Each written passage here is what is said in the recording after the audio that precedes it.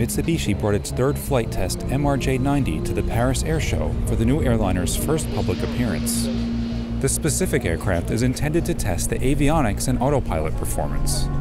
The fly-by-wire MRJ is powered by Pratt & Whitney geared turbofan engines, and the flight test program's five airplanes are busy logging hours towards certification in 2019. So we're really passionate about the MRJ-90 and its, in its place in the market. It's a next generation regional jet product and uh, it brings real benefit to the operators in terms of operating cost as well as great environmental benefits. Community noise is reduced, emissions are reduced, and we have a really spacious cabin. Everyone gets a window or an aisle with no middle seat. We are really excited about bringing it to the marketplace. We think it's going to transform the regional jet market. So the flight test program, we're really pleased with the performance we've got so far. We're through 940 hours now, well on our way to 1,000 hours, we think, in the next week or so and we're finding uh, really great results. We've achieved a number of major tests so far, such as the Flutter campaign is complete, which opens up the envelope for the rest of the flight test, that the load survey is complete, freezing the airframe design.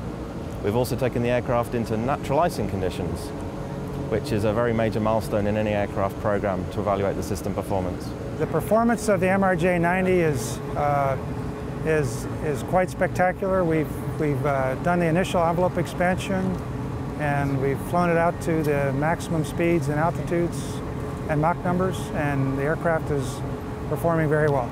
The flight deck features the Rockwell Collins ProLine Fusion avionics suite tailored for the MRJ platform. Four 15-inch displays in landscape format display synthetic vision, moving maps, and systems information. Like most modern airliners, and now including regional airliners, fly-by-wire flight control systems are becoming standard, Fly-by-wire offers improved safety with envelope protection features and adds to passenger comfort by smoothing out the effects of light turbulence. I think pilots are really going to enjoy it and uh, customers will find it very comfortable. It's what they call a simplified fly-by-wire system.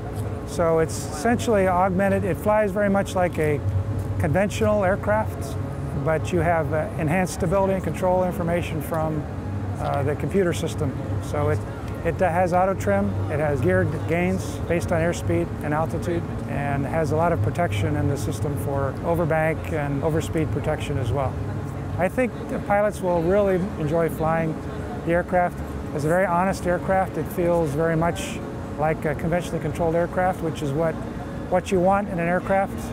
You want the flexibility of digital fly-by-wire, but you want it to feel like an honest uh, stick and rudder aircraft. So our next steps in flight test are really to build on the momentum we've made over the last six months, take an aircraft to do runway performance where we begin to validate some of the operating numbers for our customers, as well as taking a look at the engine performance in, in more aggressive scenarios such as uh, high power shutdowns um, during some of that runway performance testing. We can see the light and we've got our eyes firmly on that and everyone's really passionate and enthusiastic and just the achievements we've made over the last six months is really encouraging everybody to push to the end. Entry into service with launch customer All Nippon Airways is planned in 2020.